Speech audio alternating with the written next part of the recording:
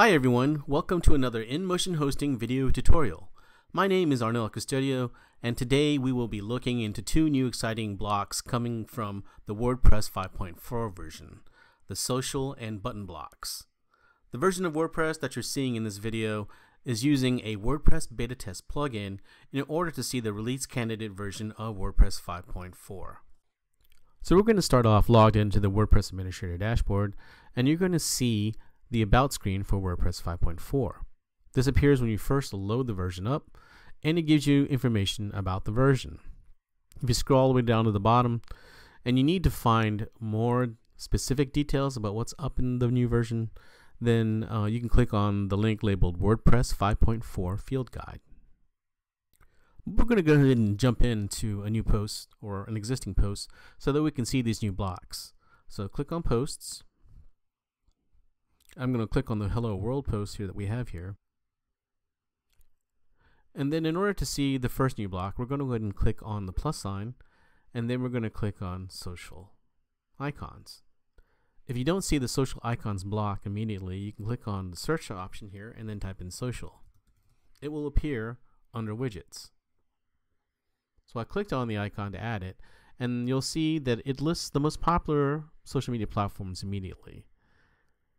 The first one that you see is the WordPress icon, and here you can see that there is already a URL that's there. In order for each of these different social media platforms or icons to appear, you'll have to have a URL for that particular icon. You can also change the position of where these icons appear. So if you want your Facebook or your WordPress icon to be first or last, you can click on the arrow here and it will reposition the location of that icon. Additionally, if you look off to the right here and look at the block properties, you can see that each individual link has a label that you can apply to it. Now, as I was saying earlier, in order for these particular icons to appear, you have to fill in a URL. In order to see this, you can actually click off the button and you'll see that only the WordPress icon which had a URL filled in appears.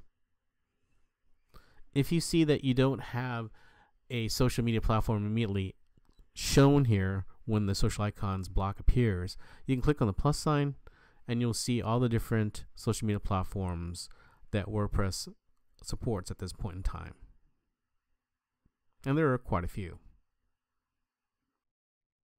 So now let's take a look at the buttons block. We're going to click on the plus sign here to add a new button, and then if you need to find that particular block, you type in button. It'll be under layout elements. So I'm going to click on button, and then right when you see it appear, you'll see this kind of layout. Now, you can start typing in text in order to see the button kind of fill out. You can also change the way the button appears, and you have two different ways. You have either the fill, where you can see the color filling it, and then you can also get the outline type, where there's no color in there, and it's just the text. I'm going to keep it with the fill for now. This particular menu bar for the button includes the link for that button, and then the formatting for the text that you're using within the button. So I can bold it, or I can italicize it, and then there's options here in the drop-down menu that include inline code, an inline image, strike through, text color, and underline.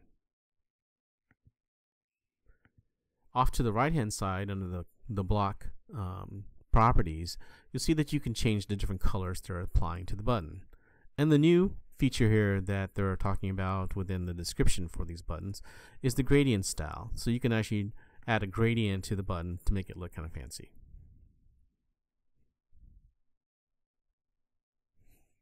If you scroll down a little bit, you'll see something called border settings. This will change the shape of the button. Right now, you can see that it does have rounded corners. If you go all the way to the left, you'll see all the corners appear sharp. You'll remove all the rounded parts of it. If you start going over to the right hand side with the slider, you'll see the button become rounder as you increase the number here.